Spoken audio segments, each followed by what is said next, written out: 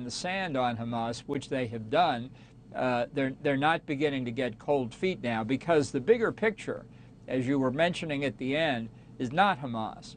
We're focused on Gaza, we're focused on the incursion, we're focused on what Israel may do in uh, the Gaza Strip. But the real villain of the piece here is Iran. They have armed and trained Hamas and Hezbollah and the Houthi rebels and Shia militia in Iraq. They support the Syrian regime. They've given direction and control. They've tried to create what Qasem Soleimani, the now deceased head of the Quds Force, called a ring of fire around Iran, and Hamas could be the first step. So that's that's what the big picture is for Israel. It's a tall order to deal with. I think they can do it, uh, but they, they nobody should be of the view that this is just a problem with Hamas in the Gaza Strip. All right, President Biden was asked about that yesterday because the, the world seems to at least acknowledge that Iran is the real the real puppet puppet master uh, here. Uh, he was asked what his message to Iran is. Take a listen. What is your message to Hezbollah and its backer, Iran? Don't. Don't, don't, don't. Don't come across the border. Don't escalate this war. That's right. What exactly does don't mean? Well, they've already done. Uh, you know, what, uh, what Hamas has done is launch roughly 5,000 missiles so far uh, into Israel. Some of those are homemade missiles, that's for sure. Some are procured from strange places and black markets, but a lot of them just came directly from Iran. This is Iran acting through a surrogate, as it would act through the Hezbollah uh, in Lebanon and Syria as a surrogate, as through uh, Syrian conventional forces, as through the Houthis and the Shia militia in uh, Iraq. This is a perfect setup for Iran. Other people are bleeding and dying, and they are striking at the great Satan. That's escalation. The Iranians have already done it. Uh, it's like saying if you take effective steps against uh, Russia in Ukraine by striking targets in Russia, somehow Ukraine's escalating the war. The Russians started the war, and Iran, through Hamas, started this war. So it's not escalation uh, to do what former Secretary of State Al Haig used to call go to the source.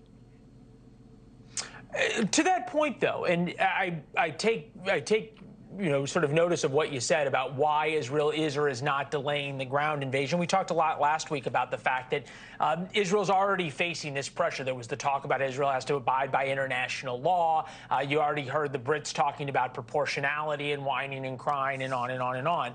But at the same point, if you're if you're sitting there and you're Benjamin Netanyahu, you realize going into Gaza, uh, you're not really taking on just 30,000 Hamas fighters who are well entrenched. You're you're taking on 30,000 Hamas hardliners uh, with a population that, of a million plus that supports them. It's a very different thing inside an area twice the size of Washington D.C. If you're the Israelis. How does the fact that America does not appear to have your back vis-a-vis Iran uh, and vis-a-vis Qatar, for that matter, how does that play into the decision matrix?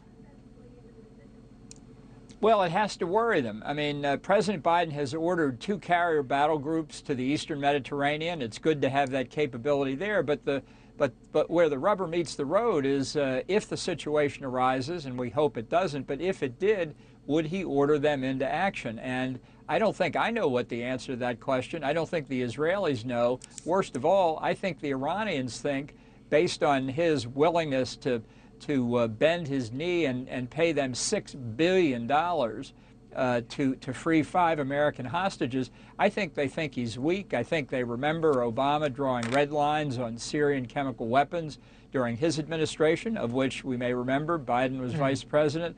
Uh, I think they've watched the withdrawal from Afghanistan. They've watched the disarray in the policy in Ukraine, and they may think that they're secure. That, that's the worst part of all.